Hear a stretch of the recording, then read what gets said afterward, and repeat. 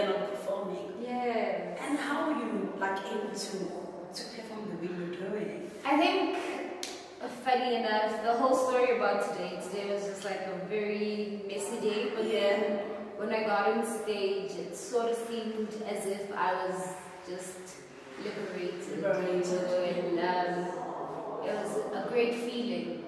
Um, and that's why I take this seriously, because there's something about being on stage and when you just take the mic and you, you get to realize that this is more than, or this is something that is beyond you. Yeah. So, It's like you, you could like actually feel everything. Like I was watching you, and I'm like, girl, like it's like the music, like it's just.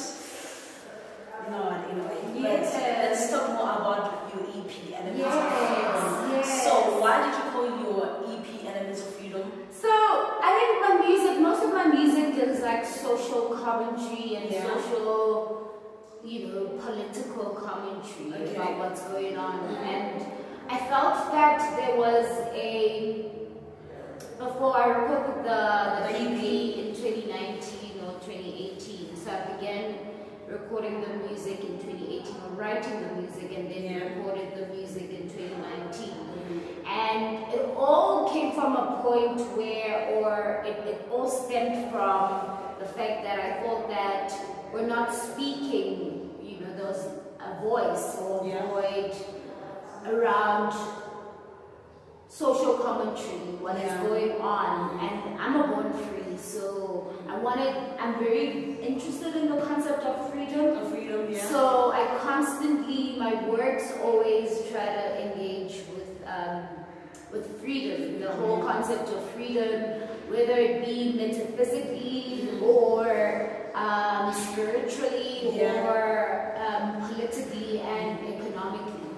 So I always just try to bring that conversation um, in my music, and also elements because elements are natural um, things that we Yeah. engage with. So I wanted to bring that touch to the music. That's why I called it Elements of Freedom. Um, just also highlighting the fact that nature liberates us, and we need to be conscious about how we treat the environment, how we engage with our fellow human beings, you know. So that's why I called it Elements of Elements of Freedom. Yeah. So let's talk about like your music generally. Like when where did your like all these things started? Because like when you sing, I'm mom teaching you how to sing? Like where did all this journey begin? Well, um, I wouldn't say I got much training um, musically. So I Yeah. started singing from a very young age, you know. Yeah. My vivid, most earliest memory is when I was with my grandmother and her most favorite hymn was Kanye nawe Yeah. Nkosi yami." Come So on. yeah, that, so like my grandmother actually passed away when I was like three or four. Like she passed away like um, 98, Yeah. and I was born in 94. So I was very young, Very young, yeah. but I still have like very vivid memories of her, and I think that I. It's something you know. I'd reference another musician um, Zoe Modiga, who's one of the most prolific vocalists Yeah. in the country.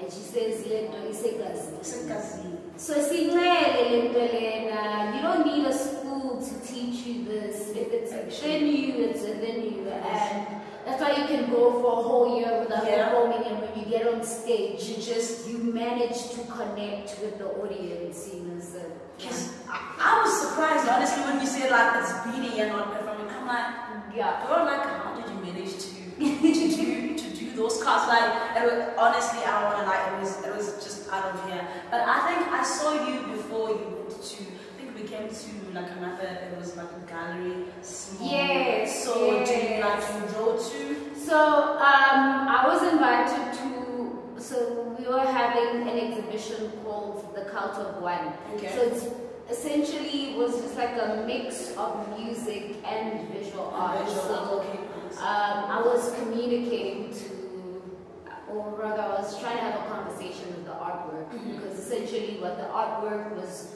Um, the artwork created by Lucy Beauchamp, Yeah. who's a visual artist, essentially speaks to the current political situation. Yeah. So I thought, I was like, you know what, the cult of one, I want to have Like- something to say in that space. Yeah, So, yeah. let's. So how, how, how did you hear about the, the Stargazer launch?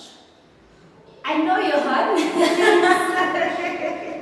So you're like, yeah, yeah, I'm come. I know, you know, Connect. we're in the same building. Yeah. So I was like, why not? Why not? Let's do it. Yeah. Yo, it was really an honor to have you. Thank you so Thank much. you so much. So my name is Refiloe Rantsieng and you can find my. EP on all digital I, platforms. I just downloaded it. It's like, yo, listen. I'm gonna listen to it on a Sunday after church. Yes. Drinking some wine. Actually, Smoking some hobby. okay, I'm not condemning that, but it was really Yeah. So where can we find you like your socials? So on Instagram, I am at Refiloe Mino. Okay. Mino double M I N O double M I N O.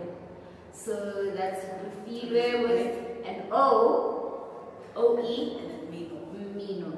And that's also the same on on Facebook. on Facebook. Yeah. And do you have Twitter? I'm not so much on I feel Twitter. like Twitter eats people, hey? Yeah, I'm not so much on Twitter. just live it there. Yeah. Thank you so much. Like I feel like I need to have you more. Like I feel like this interview was so short. Yeah, we need to have need like to have more. another, Yeah, yeah, another interview. Yeah, but Yeah. anyway, I really want my man answer the music next time. The level one. This is Stargazer Gallery launch in partnership with Icon International and Flatline Music. We are Vibe SA. And I am Rufilwe Ranzieng.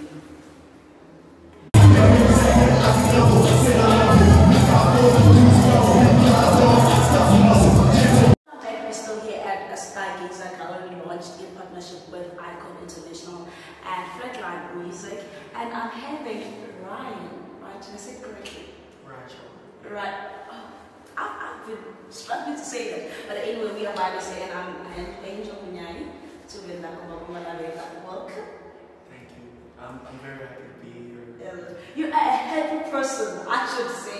Like you so like you so happy. So during the during the, the lunch, I saw you were sitting down with some um, few friends. What what what was that all about? Um, so one of the main homies, um, I'm really, really young. Um, 22 years old now. Twenty. 22. You lie. Yeah, yeah. So so the art that you were showing them there while you were sitting down, it's you. That's your work. Tell me about that work. Um, I'm a very like, I'm a very low key person. Mhm. Um, I'm out there to people that know me. I'm very passionate about the things that I believe in. And I think that's what art's all about. And um, I think the work that between James and myself made today was mostly just being in the present and showing that artists can actually perform. Yeah. Um, and we know artists perform, but not visual artists. We don't see a lot of painters or sculptors actually sculpting.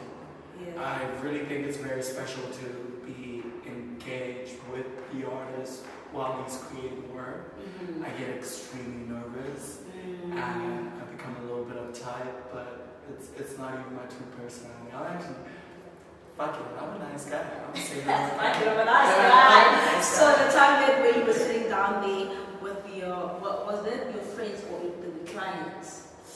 Oh, so the the firstly, I sold out my show.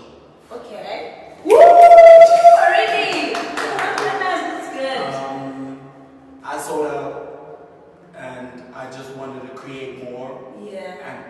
that's good. Um, naughty like vibes. Um, but the the two the two people that bought majority of the work, the expensive work, um, Raging Bull, very special painting. I showed it for the first time at Villa Africa Mhm. in Cape Town, and now the painting came back home, and now it's going to Switzerland. Um, I Did you just say Switzerland? oh yeah, that's where they're from. Yeah. Man, please take me with you. Like, just put me in the back when you go. You can go with the painting. Okay, so where can we uh, find your work? Um, so right now I'm represented by four galleries. I'm actually four on four. I'm the fourth highest paid artist in the country. Um, yeah, 22. Yeah, yeah, yeah. Put that on tape so that they can hear me say this. Did you just say, uh, repeat? What?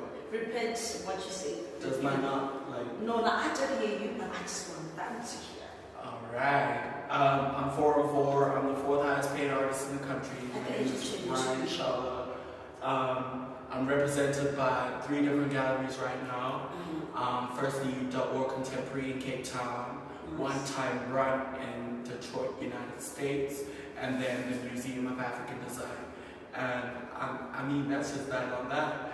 And you know, as also, I like to say, catch me on my gram or Uh, don't. I actually don't care.